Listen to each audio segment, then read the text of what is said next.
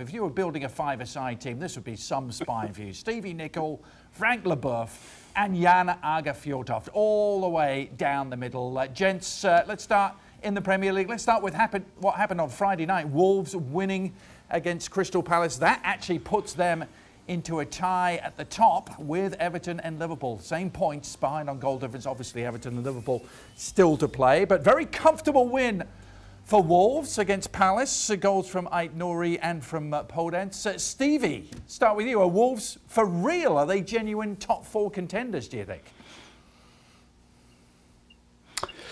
Uh, Wolves are for real. I think we knew that already. Um, the last couple of seasons, uh, they've actually given us hope that they could maybe break in um, to that top four, but they're definitely contenders for the top four. I'm not so sure I'm ready to put money on them, but uh, deservedly won today. Uh, played some lovely flowing football. Uh, got two goals and created more chances. Uh, but as I said, deservedly won it, uh, and deservedly are up up near the top of the table. And Frank, they unearthed another French fullback who got his first goal for the club as well. Aït-Nouri, are, are you are you buying what they're selling at Molineux? Oh yes, I mean I'm, i was very impressed. You know, already last season, but uh, this season again, uh, they're doing great and they're very well balanced. And it took, it's true that uh, with uh, on top of it, uh, you know, buying that fullback, uh, having his first game, I think he's only 20, not even 20, and scoring his first goal.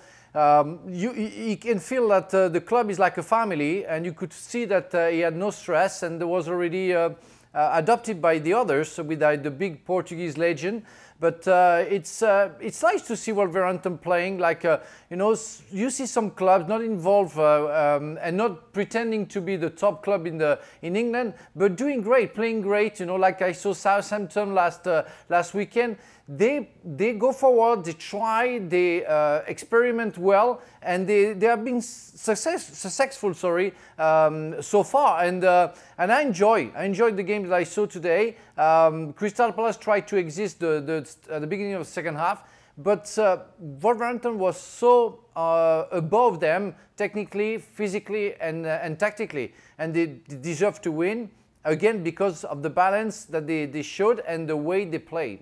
Fantastic, I loved it. And yeah, we've already talked a lot about how topsy-turvy this year in the Premier League is going to be. Does it mean that Wolves, or a club like Wolves, can, can be there at the end?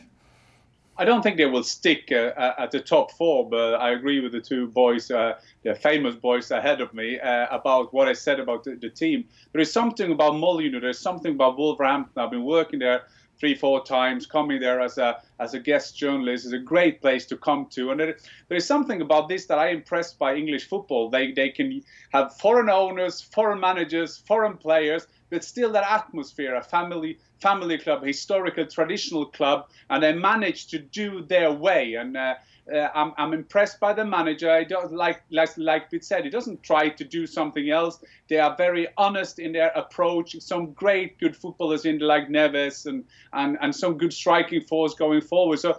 A, a team that is enjoyable to watch, and is also a team. Although they also spend some money, it still gives us a hope that people can kind of knock from below, also in the Premiership, but not only the big, big spenders being up there. Thanks so much for watching ESPN on YouTube. And for more sports highlights and analysis, be sure to download the ESPN app. And for premium content and live streaming, subscribe to ESPN Plus.